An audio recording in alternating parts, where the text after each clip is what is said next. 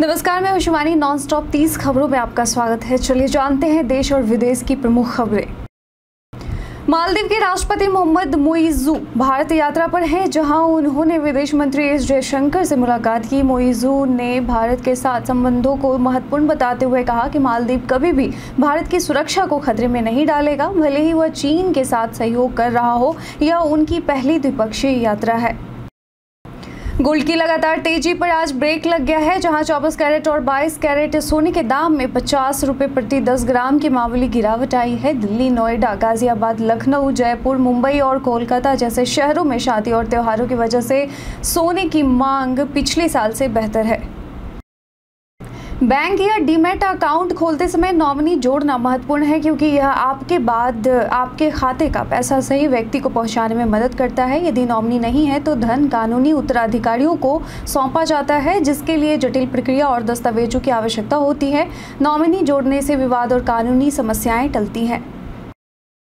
Tata sons के पूर्व chairman Ratan Tata के स्वास्थ्य को लेकर अफवाहें उठी, जब रिपोर्ट्स में कहा गया कि उन्हें अचानक ब्रीच कैंडी अस्पताल के आईसीयू में भर्ती कराया गया। छियासी वर्षीय उद्योगपति ने सोशल मीडिया पर इन खबरों का खंडन करते हुए बताया कि उन्हें गंभीर बीमारी के लिए अस्पताल में नहीं, बल्कि उम्र संबंधी नियमित चेकअप के लिए लाया गया था। उन्होंने जनता और मीडिया से गलत सूचनाएँ फैलाने से बचने की अपील की, यह कहते हुए कि वह स्वस्थ हैं। प्रधानमंत्री नरेंद्र मोदी के लिए 7 अक्टूबर का दिन खास है, क्योंकि 23 साल पहले इसी दिन उन्होंने गुजरात के मुख्यमंत्री के रूप में कार्यभार संभाला था। आरएसएस के प्रचारक से भाजपा के राष्ट्रीय महासचिव बनने तक मोदी ने पार्टी को मज़बूत किया। अमित शाह ने मोदी की यात्रा को प्रेरणादायक बताते हुए उन्हें बधाई दी। इस अक्टूबर में कई महत्वपूर्ण त्योहारों के चलते लंबी छुट्टियों की सूची तैयार हुई है। रिज़र्व बैंक ऑफ़ इंडिया ने छुट्टियों की तारीखें जारी की हैं, जिनमें 10 से 13 अक्टूबर तक लगातार छुट्टियाँ शामिल हैं। प्रमुख छुट्टियों में महासप्तमी, महानवमी, दशहरा और दुर्गा पूजा जैसी तिथियाँ शामिल हैं, जो परिवार और दोस्तों के साथ समय बिताने का अवसर प्रदान करेंगी। राष्ट्रीय स्वयंसेवक संघ आरएसएस के प्रमुख मोहन भागवत ने 5 अक्टूबर को हिंदी समाज से एकजुट होने का आह्वान किया था। उन्होंने युवाओं को जाति, भाषा और प्रांत के भेदभाव को मिटाकर समाज के उत्थान के लिए सक्रिय भूमिका निभाने की प्रेरणा दी। भागवत ने भारत को हिंदू राष्ट्र बताते हुए समाज में एकता, सद्भावना और सहिष्णुता की आवश्यकता पर ज़ोर दिया। प्रीति जिंटा का 16 साल का ट्रॉफी इंतज़ार खत्म हुआ। सेंट लूसिया किंग्स ने कैरिबियन प्रीमियर लीग सीपीएल 2024 का खिताब जीतकर उन्हें खुशी दी। पंजाब किंग्स की टीम, जिसमें प्रीति का बड़ा योगदान है, ने आईपीएल में एक बार 2014 में फाइनल खेला था, लेकिन जीत नहीं पाई थी। अब सेंट लूसिया किंग्स की इस जीत ने उनकी खुशी को दोगुना कर दिया है। एलपीजी उपभोक्ताओं के लिए ई के अनिवार्य किया गया है, जो 2019 से पहले के कनेक्शनों पर लागू होगा। पेट्रोलियम कंपनियाँ घर घर जाकर चूल्हा और पाइप की जाँच करेंगी। अगर 31 दिसंबर तक उपभोक्ताओं ने ई के नहीं कराई तो उनके गैस कनेक्शन निरस्त कर दिए जाएँगे, जिससे वास्तविक उपभोक्ताओं की पहचान सुनिश्चित होगी। टाटा मोटर्स लंबे समय के बाद एक नई ऑफ़ रोडिंग एसयूवी लॉन्च करने की तैयारी कर रही है। मीडिया रिपोर्ट्स के अनुसार कंपनी अपनी फ्लैगशिप एसयूवी टाटा हैरियर का एडब्ल्यूडी वर्जन पेश करने की योजना बना रही है। यह एसयूवी महिंद्रा थार के मुकाबले में लाई जाएगी, जिससे टाटा का ऑफ़ रोडिंग सेगमेंट में विस्तार होगा। देश भर में नवरात्रि उत्सव धूमधाम से मनाया जा रहा है। प्रधानमंत्री नरेंद्र मोदी ने दुर्गा पूजा के अवसर पर सोशल मीडिया पर अपना गरबा गीत साझा किया है। उन्होंने लिखा कि नवरात्रि का यह पावन समय श्रद्धा और आनंद का प्रतीक है और इस गीत के माध्यम से माँ दुर्गा की शक्ति और कृपा को श्रद्धांजलि दी है। साइबर ठगी के मामले अब गंभीर रूप ले रहे हैं। जैसे आगरा में शिक्षिका की मौत जो झूठी धमकी से हुई, सरकार और पुलिस इस मुद्दे पर सतर्क है, लेकिन विशेषज्ञ मौजूदा कानूनों को अपर्याप्त मानते हैं। उन्हें कड़े कानूनों की आवश्यकता है ताकि साइबर अपराध के प्रति लोगों में डर पैदा किया जा सके और इसे रोका जा सके। प्रधानमंत्री नरेंद्र मोदी ने झारखंड के पूर्व सीएम चिम्पई सोरेन से फ़ोन पर बात की, जहाँ जहाँ सोरेन ने अपने स्वास्थ्य में सुधार की जानकारी दी। वे अस्पताल में भर्ती हैं, लेकिन वीडियो कॉन्फ्रेंसिंग के ज़रिए आदिवासियों के महासम्मेलन में शामिल हुए। सोरेन ने मोदी को धन्यवाद देते हुए समाज के मुद्दों पर जागरूकता की आवश्यकता पर ज़ोर दिया। रोहित शेट्टी की बहुप्रतीक्षित फ़िल्म सिंघम अगेन नवंबर को दिवाली पर रिलीज़ होने जा रही है। ट्रेलर में हाई ऑक्टेन एक्शन सीक्वेंस और अजय देवगन का दमदार प्रदर्शन देखने को मिला है। फ़िल्म में करीना कपूर, रणवीर सिंह, दीपिका पादुकोण और अन्य सितारे मुख्य भूमिकाओं में हैं। यह शेट्टी के कॉप यूनिवर्स की पांचवी किस्त है।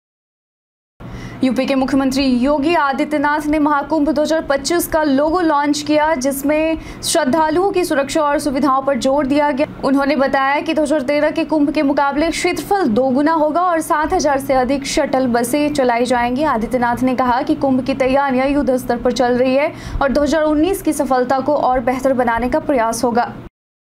भारत में घरेलू हवाई यात्रियों की संख्या 2030 तक 30 करोड़ तक पहुँचने का अनुमान है। जैसा कि नागर विमानन मंत्री के राम मोहन नायडू ने बताया, सरकार हवाई अड्डों के विकास पर 11 अरब डॉलर खर्च कर रही है और अगले 20 से 25 वर्षों में 200 नए एयरपोर्ट विकसित होने की उम्मीद है। जुलाई में हवाई यात्रियों की संख्या सात प्रतिशत की वृद्धि हुई। एलन मस्क ने माइक्रो ब्लॉगिंग प्लेटफॉर्म एक्स पर 200 मिलियन फॉलोअर्स पाने वाले पहले व्यक्ति बनने का रिकॉर्ड बनाया है। उनके बाद बराक ओबामा 131.9 मिलियन और क्रिस्टियानो रोनाल्डो 113.2 मिलियन है। पीएम मोदी के भी 102.4 मिलियन फॉलोअर्स हैं। मस्क ने ट्विटर को 44 बिलियन डॉलर में खरीदा और एक्स नाम दिया।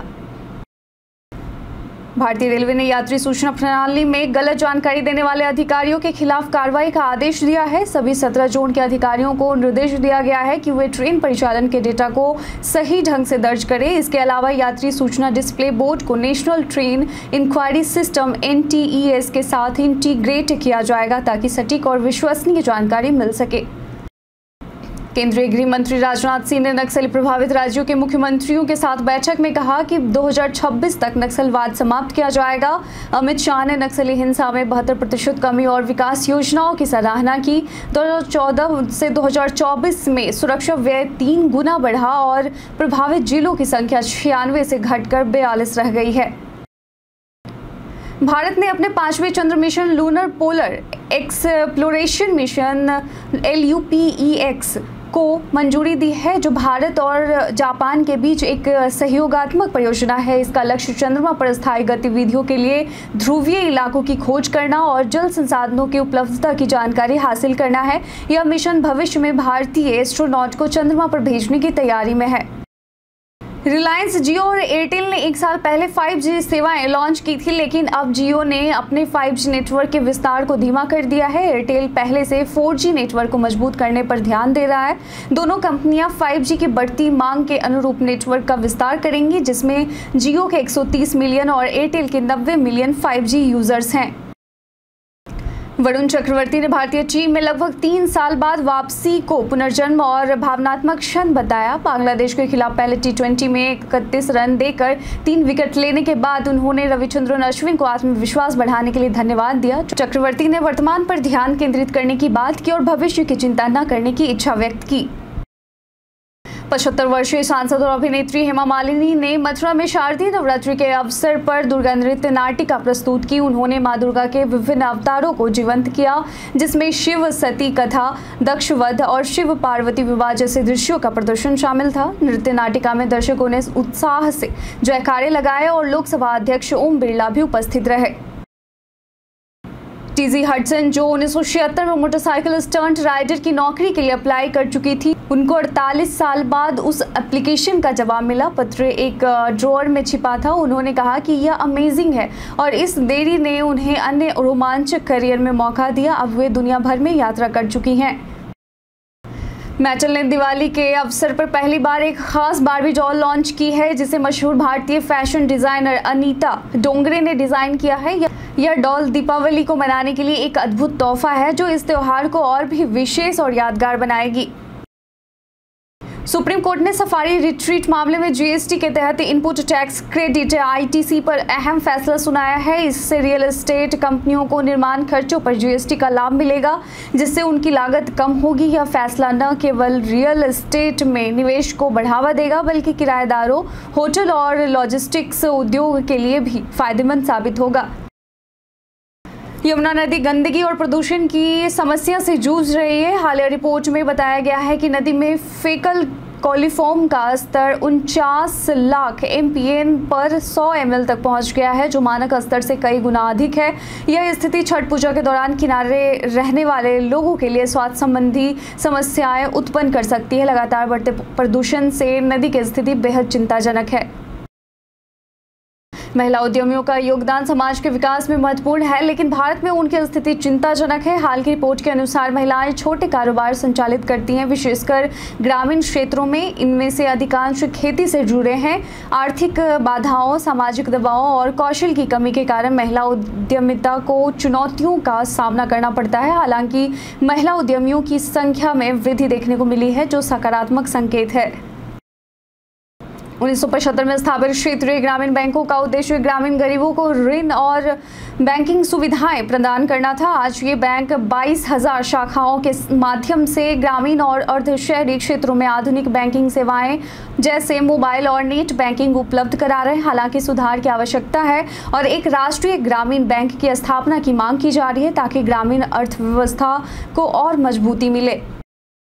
बच्चों का सोशल मीडिया पर बैन लगाना एक महत्वपूर्ण मुद्दा है, जिसे लेकर दुनिया भर में विभिन्न कानून और नीतियाँ बनाई गई हैं। बच्चों की सुरक्षा, मानसिक स्वास्थ्य और उनकी गोपनीयता के मद्देनजर कई देश सोशल मीडिया उपयोग पर नियम लागू कर रहे हैं। बच्चों को ऑनलाइन धोखाधड़ी, साइबर बुलिंग और अश्लील सामग्री से बचाना, सोशल मीडिया का अत्यधिक उपयोग बच्चों में मानसिक स्वास्थ्य समस्याओं को बढ़ा सकता है। बीते दिन हमारे द्वारा पूछे गए सवालों का आप लोगों में से बहुत लोगों ने अपना जवाब में कमेंट सेक्शन में लिख कर दिया था, जिन्होंने पूछे गए सवाल का जवाब दिया है। उनके नाम है संजीव कुमार, नुन्नू कुमार गोलू, सपना कुमारी, राकेश मिश्रा, कौशलेंद्र कुमार, नौशाद रजा, रविशंकर, राम बाबूदास और रविशंकर शाह। इसके साथ ही बढ़ते हैं आज के सवाल की ओर। आज का सवाल है कि क्या आपको भी लगता है कि बच्चों के लिए सोशल मीडिया बैन कर देना चाहिए? अपना जवाब में कॉमेंट सेक्शन में लिखकर ज़रूर बताएँ। आज के लिए बस इतना ही। धन्यवाद।